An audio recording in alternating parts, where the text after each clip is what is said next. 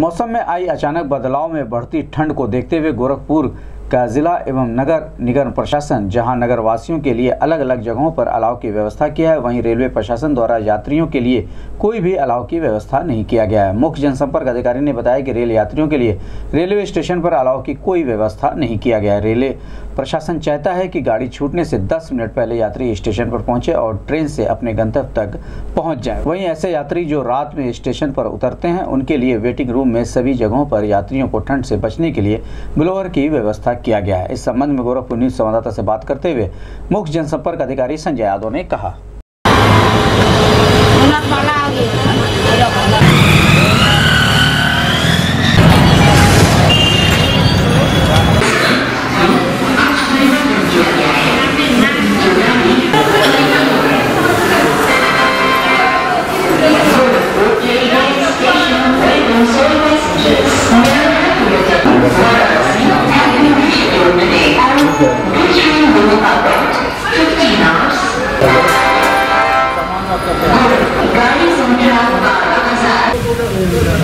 Sir ठंड काफ़ी बढ़ गई है इस समय। उसके लिए सर यात्रियों के की कोई व्यवस्था रेलवे प्रशासन की तरफ़ से की गई है तो? देखिए, अभी फ़िलहाल तो कुछ नहीं है, इसलिए क्योंकि प्रशासन, रेलवे प्रशासन चाहता ही ये है और हमारी मंशा ये है कि आप गाड़ी आने से जस्ट पहले आइए, दस मिनट पहले आइए, अपनी गाड़ी पक- पकड़िए और अपने गंतव्य को चले जाइए।